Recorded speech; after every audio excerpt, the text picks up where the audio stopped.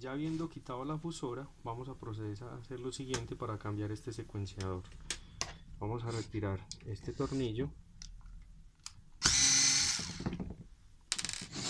este tornillo y este tornillo.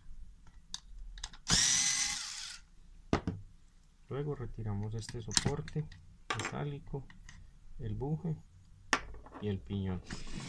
Y esta pieza la levantamos un poquito y la retiramos. Tiene dos soportes, acá y acá.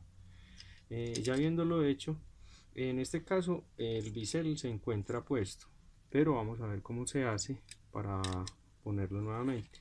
En el caso de que se haya quebrado, esta pieza estará así. Entonces vamos a alinearlo de la siguiente manera. Vamos a ponerlo primero acá, en el lado que trae el brazo sensor, y luego aquí, haciéndole presión a esta pieza y no al brazo sensor, porque es muy frágil, se puede volver a partir. Ya habiéndolo puesto, revertimos este proceso. Cazamos el soporte acá y acá en el otro lado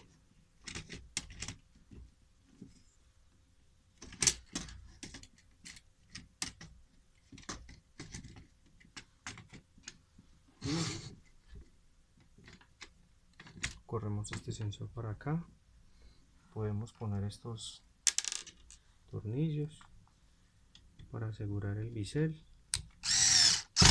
Uno.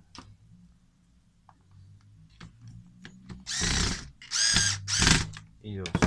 Y ponemos el eje con el piñón acá. Este eje trae un lado que casa en este semicircular de esta platilla entonces debemos ubicarlo correctamente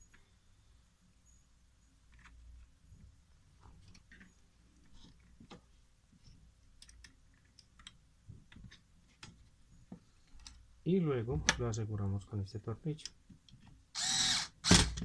Verificamos que estos cables nos queden por este seguro y este sí suelto.